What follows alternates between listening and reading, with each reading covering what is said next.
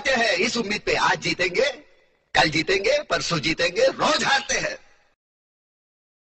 देशवासियों इस वक्त देश के हर कस्बे हर गाँव हर गली और हर मोहल्ले से एक ही आवाज़ आ रही है।